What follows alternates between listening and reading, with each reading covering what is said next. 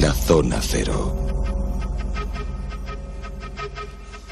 Monográfico Zona Cero. Jesús Callejo, Carlos Canales, muy buenas a los dos. Hola Bruno, buenas noches.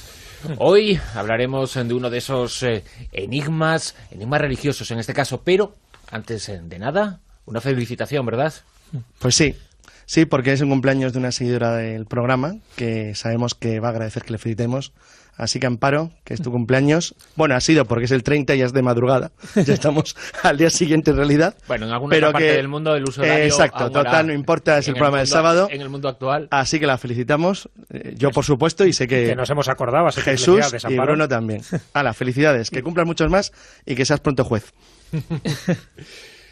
El misterio del mitraísmo es el asunto que vamos a abordar hoy en el eh, monográfico, este monográfico apasionante, porque tantas y tantas veces eh, que se habla de religiones comparadas, de mitos, eh, de imágenes que y de cosas que hizo que representaba la figura de Jesús y de su similitud a la figura de, de Mitra, bueno, pues lo que conviene es explicar un poco quién era Mitra, de dónde viene el mitraísmo, en qué creían, en qué se parece al cristianismo, en qué no se parece... Bueno, muchísimas preguntas para abordar en los próximos 20 minutos. Pues yo creo que sí, además, eh, más interesante de lo que a priori puede parecer a más de un oyente, ¿no? Porque puede decir, bueno, el mitraísmo, ¿qué es eso? ¿Qué nos van a contar, no? No deja de ser una religión antigua, una religión que prácticamente eh, ya no se practica, a pesar de que todavía hay seguidores del mitraísmo, ¿por qué no deja de ser una derivación del zoroastrismo, ¿no? que luego comentaremos un poco lo que era. Pero ¿por qué lo hemos traído un poco a colación a este monográfico? Porque tiene muchos puntos en común con el cristianismo. De hecho, comentó hace años un escritor, eh, un historiador francés, Ernest Renan, que si una enfermedad mortal hubiera detenido al cristianismo, Europa hubiera sido mitraica. ¿Sabes por qué? Porque era la, era la religión de las legiones. Entonces, el éxito del mito, que es de, de, origen persa, indoeuropeo, pero oriental, no occidental, es debido a que se convierte a partir del siglo I. De hecho, por ejemplo, el mayor templo mitraico de Europa está, se ha encontrado en Sarmicegetusa, que era la capital de la Dacia, de la Dacia, de la actual Rumania, y era un templo militar. Porque a partir del siglo I, el mitraísmo empieza a tener una enorme influencia en las legiones. No está muy claro el por qué, aunque sí, porque hay ciertos elementos que luego comentaremos dentro de la estructura de la creencia mitraica, que por alguna razón atrajo a los soldados, básicamente la idea del, del, equilibrio y la igualdad. En eso parecía mucho, como luego veremos al cristianismo, pero con unos matices que lo hacían ligeramente distinto. El caso es que, si no hubiera sido por una casualidad, es verdad, es cierto lo que dice este historiador. Es, es, muy probable que Mitra hubiera sustituido a Cristo en el culto, en el culto Pero además, de Occidente. Fíjate, de entrada ya tiene una serie de elementos que son comunes. ¿Cuándo nace Mitra? Un 25 de diciembre. Nace de una virgen. nace en una gruta. Nace rodeado de un toro y un buey. Es adorado por pastores. Es visitado por magos. Qué curioso. No hay demasiada relación con el cristianismo, que estamos hablando de mil años antes, cuando se habla de Mitra. ¿Cuándo se supone que vivió Mitra?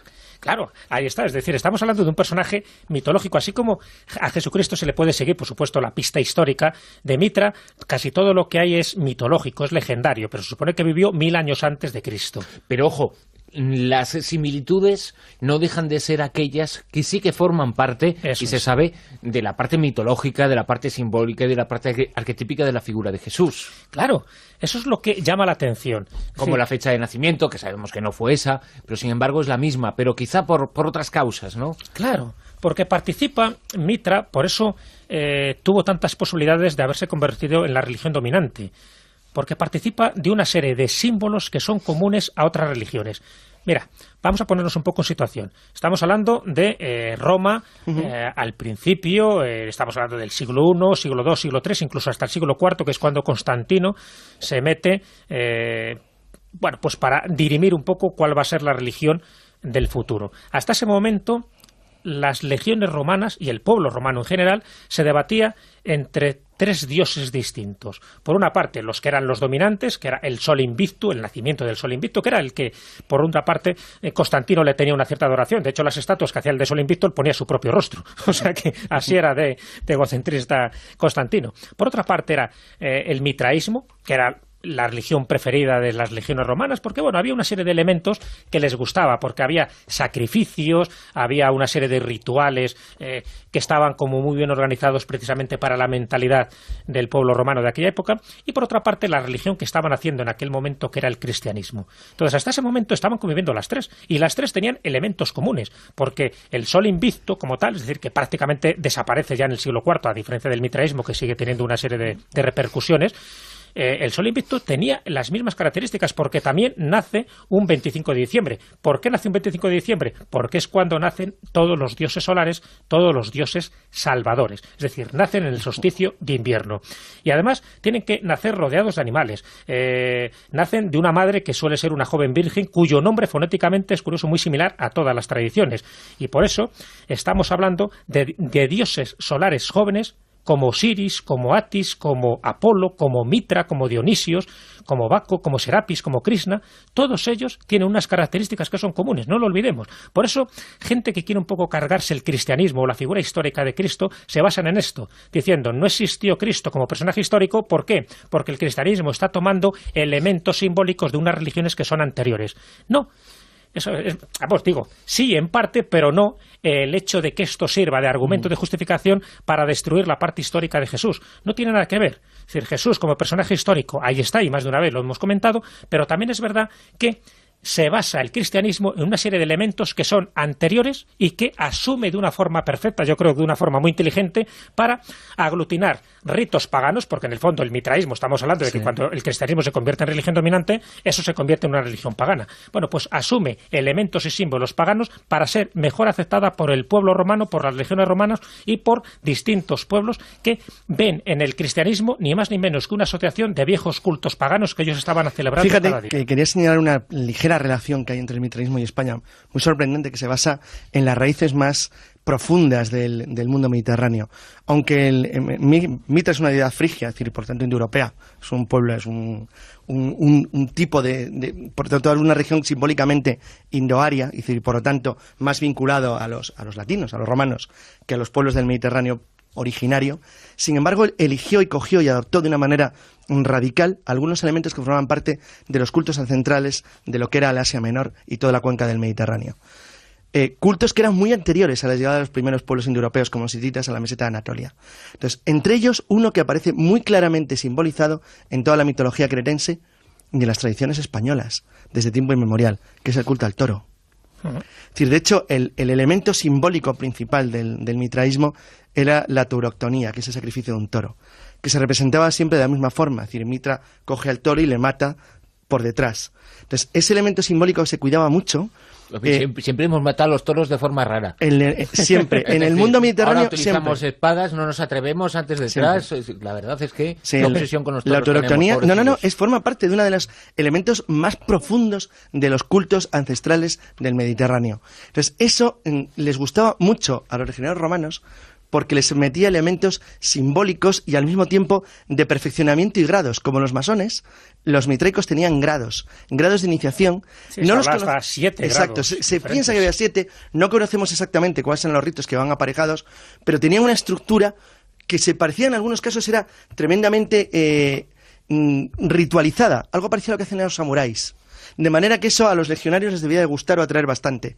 De hecho, aunque no conocemos muy bien cómo era, porque lo que se conoce son ruinas, pero por ejemplo, se sabe que los templos mitricos eran rectangulares, eran muy sencillos por dentro y tenían un sistema simbólico que en algunas de las representaciones mm, parecían recordar, por ejemplo, a, las, a, los palacios de Nosos en Creta. evocaba algo muy anterior a la llegada de los indoeuropeos a Anatolia y al, y al Mediterráneo. Es decir, era algo más antiguo, algo que se aproxima a algunas cosas, aunque no tenga nada que ver, a la idea que, por ejemplo, tenemos cuando alguien ve las representaciones de Catalhuyuk. Es decir, algo muy viejo, muy primitivo. Entonces, por eso tiene razón Jesús cuando en realidad dice lo que dice todo el mundo actualmente. No es que esto anule elementos del cristianismo, que el cristianismo cogiera elementos mitraicos. No, tampoco es cierto. es que todos cogían lo mismo. Que, no, fue que hubiera una serie de personajes en los primeros años, en los primeros siglos del cristianismo, que dijeran, bueno, ¿qué nos inventamos? Ah, vamos a ocultar la historia y vamos a coger y traer el mitraísmo y actualizarlo. no, no es eso. Vuelvo al, en el puente Milvio vuelvo a lo mismo. recordad eh, que lo que se le aparece a Constantino, lo que le dice, es, decir, lo que, es que le, mete, le, mete, un símbolo. bajo este símbolo vencerás. O sea, te aleja completamente de cualquier idea pagana o de cualquier entorno, de cualquier otra posible religión que pudiera ser rival de la que iba a ganar que es la que ganó. Entonces, el hecho cierto es que decir, esto de los símbolos es muy importante porque la simbología, sabemos por lo menos que los romanos conocían elementos del mitraísmo al menos al menos desde el siglo Eh, antes de Cristo o siglo I, que es cuando surge el, culto a Mitra en la forma moderna. En la forma moderna me refiero en la forma que, se conoció en el imperio ya en la era cristiana. Porque eh, nacen prácticamente al tiempo. Esto es importante. Aunque se supone que Mitra vivió antes, el momento de desarrollo en la cuenca del Mediterráneo Oriental está en torno al siglo I. De hecho, el primer gran contacto directo que conocemos de los romanos con ellos es cuando eh, Pompeyo actúa contra los piratas de la Cilicia. Entonces, sabemos que en aquel entonces el mitraísmo ya era conocido por los romanos. O sea, era mm, no una religión, no les resultaba una religión extraña. Los romanos fueron como muy estuvieron como muy alejados de las religiones orientales hasta el siglo I o II. Las veían como algo raro, conflictivo, como la vida de Brian, vamos, algo extraño. Pero luego se fueron aproximando y cuando se aproximaron, se aproximaron a todos al tiempo, incluyendo al judaísmo. El judaísmo lo que pasa es que los judíos los consideraban siempre especialmente raros y mucho más cerrados como comunidad, en tanto que los mitraicos y los cristianos no eran cerrados, sino que hacían todo lo contrario, intentaban extender su culto y su religión de la manera más eficaz posible.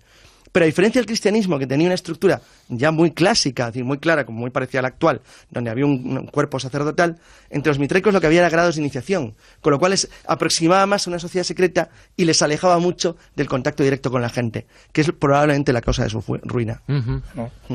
Además tenían unos rituales muy simbólicos, que yo creo que es bueno hacer un pequeño resumen para que nos demos cuenta qué es lo que hacía un mitraico, ¿no? En qué se diferenciaba realmente de un cristiano, porque hemos hablado de las semejanzas, pero ¿cuáles eran las diferencias?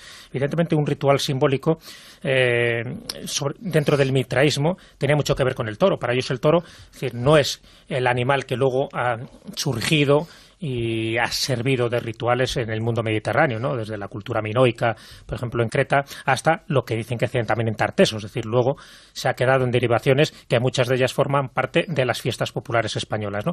Pero no, el toro en el mitraísmo es totalmente distinto porque era la alegoría de la creación y por lo tanto su sangre, cuando era sacrificado el toro, la sangre es la que renovaba el año a través de ese sacrificio, es la que daba sentido a la naturaleza. Por eso los rituales mitraicos se celebraban casi siempre durante el equinoccio de primavera, que es precisamente la renovación que hay de la naturaleza. ¿no? Bueno, pues en el mitraísmo la muerte del toro, ya digo, era esa alegoría de la creación y lo que hacía el catecúmeno cuando quería ser un mitraico bueno, pues se iniciaba en los misterios de una forma muy curiosa. Es decir, primero tenía que someterse a unas doce pruebas, eran doce torturas iniciáticas, lo pasaba francamente mal, pero luego como recompensa le daban un panecillo ácimo para que no se hiciera tampoco demasiadas ilusiones, no tenía levadura pero era un panecillo ácimo y de forma redonda, que simbolizaba el disco solar. Luego se le colocaba bajo una plataforma de madera y recibía a través de sus fisuras, eso es importante, la sangre del toro inmolado encima de él. Es decir, justo encima, mm. al sacrificar el toro, esa sangre para él era purificadora, es la que le convertía en un nuevo miembro del mitraísmo. Y cuando salía de ese antro era aclamado por la gente como un nuevo ser, un, ser renacido, es decir, una prueba iniciática que luego con el cristianismo este tipo de cosas se fueron perdiendo. Es decir, eran más rituales los mitraicos que luego los cristianos, por lo menos el cristianismo fue perdiendo esa simbología. Así que eso era un poco lo que hacía que una persona, por ejemplo, un legionario romano, tuviera tanto interés en ser mitraico, porque había... Era una sociedad Claro, era una sociedad secreta Por cierto, aislada de, las, unos pocos. aislada de las mujeres. No había mujeres en los cultos de Mitra. Esto es importante, porque por eso tuvo tanto, tanto aproximación al mundo militar romano. Porque era un, era un mundo cerrado en el cual tú cuando pasabas la prueba de iniciación pues como los que están en las buenas verdes americanos, las películas, lo mismo. A que tiene una simbología muy parecida a una sociedad universitaria o una fraternidad. Claro, Entonces, un poco como los Skull and Tiene que hacer una burrada, ¿no? como las sectas, estas, estas cuestiones eh, le hicieron muy popular. Y además se sabe que la distribución del mitraísmo tuvo que ver, aparte con la parte militar, con los mercaderes. De hecho, el centro mitraico primero Italia era Ostia, el puerto de Roma. Entonces, es decir, esta fue la forma de penetración. El cristianismo es cierto que entró de una manera muy parecida, pero el cristianismo, a pesar de que las dos tenían bases universales, tiene una base mucho más universal. Y, la no existencia, yo creo, de ese tipo de cultos extraños le hizo más eh, asequible a la gente. Es decir, se te pedía muy poco para ser cristiano, bastaba con bautizarte. Sí, además estaba siempre la dualidad entre las fuerzas de la luz y las fuerzas de la oscuridad, que es algo que ya se venía haciendo desde Zoroastro, de Zaratustra. Es decir, eso es un elemento que ha sido común prácticamente a todas las religiones, el bien y el mal y un dios que representaba a las fuerzas de la oscuridad y un bien que representaba a las fuerzas de la luz. Entonces era Aura Magna contra Ormuz. Pero que luego, fíjate, cuando prácticamente desaparece el mitraísmo, porque el mitraísmo dura hasta el siglo IV después de Cristo, hay una herejía que surge dentro del incipiente cristianismo que es el maniqueísmo. Bueno, pues el, maniqueísmo mismo, sí. era la derivación que quedaba un poco de ese mitraísmo, que en el fondo estaba basado en esa concepción dual del universo, que en el fondo también es lo que hacían los cátaros, siglos después. Es decir, había un dios del bien, un dios invisible, por decirlo así, y un dios del mal materializado un poco en este mundo y en las obras de la creación. Bueno, pues en el fondo no deja de ser una parte de ese mitraísmo que también fue acogido durante los primeros años de de ese incipiente cristianismo hasta que Constantino... durante los primeros siglos, es decir, y porque todavía a día de hoy podemos encontrar huellas mitraicas en nuestra cultura, aquellas que no estén vinculadas directamente al cristianismo, es decir, que hayan seguido una línea paralela. Se sabe que en Irán, por ejemplo, porque sabes que en Irán, en la antigua Persia, mm. es donde surge el mitraísmo, todavía hay pequeñas sociedades, pequeños grupos que siguen practicando el mitraísmo y siguen haciendo este tipo de rituales, por supuesto, en fin, actualizados un poco. Pero sí, no sabemos cómo eran los de la época cristiana inicial, o sea, los de hace dos mil años los hemos perdido, como eran. Pero es verdad que sigue habiendo un culto a Mitra todavía. Sí, ya totalmente descafinado, pero bueno, eh, siempre hay grupos ¿no? que intentan un poco rescatar ese tipo de raíces, en este caso religiosas, de una religión que tuvo mucho peso ¿no? Eh, pues en lo que era la antigua Persia, lo que luego fue en Roma, que fue el que más lo difundió, y que tenía tantos elementos comunes, una de ellos era ese 25 de diciembre, que obligó, por ejemplo, a un papa, como es el caso, el caso del Papa Liberio, a instituir como fecha inmutable del nacimiento de Cristo el 25 de diciembre. Bueno, pues en parte la culpa de que se fuera un 25 de diciembre a sabiendas de que eh, Jesús no nació un 25 de diciembre, en parte la culpa la tiene Mitra o el mitraísmo, porque fue la forma de solapar esto, eh, de que se seguía adorando al sol invicto, que ya digo que pronto cae en desgracia, pero si la gente quería seguir celebrando a Mitra, que lo hiciera el mismo día. Ahí eh, la iglesia, la primera iglesia cristiana, yo creo que tuvo esa habilidad, esa estrategia de no prohibir los cultos paganos, sino de asociarlos. Bueno, pues el Papa Liberio en el año 354, bueno, era una forma de erradicar esos cultos paganos, asimilándolos o asociándolos a la nueva religión que en ese momento estaba imperando. Bueno, de hecho en España la festividad se empieza a conmemorar, a conmemorar después del Concilio de Zaragoza, que es en el 380. A partir de ahí ya prácticamente no hay duda que el 25 de diciembre es la fecha o el natalicio de Jesús. Bueno, pues recordar que esa fecha era el natalicio de todos los dioses solares, de todos los dioses que tenían que nacer obligatoriamente en el solsticio de invierno para que el día se fuera regenerando, para que la luz, es decir, las fuerzas de la luz, empezaran a ganar terreno a las fuerzas de la oscuridad. El simbolismo es clarísimo, el problema es que luego los ritos, los dogmas, son los que estropean, por decirlo así, un poco la base en la que se sustentaban prácticamente todas las religiones que había tanto en el Imperio Romano como en los imperios de las otras partes del mundo. Perfecto. El mitraísmo ha sido el asunto que hemos abordado esta noche en los monográficos y hemos descubierto lo que no lo que seríamos, lo que seríamos en caso de que no hubiera triunfado el cristianismo. Seguramente el mitraísmo estaría todavía en nuestra sociedad, en nuestra cultura, en el mundo en el que vivimos, pero... Jorobando toros, como tú dices.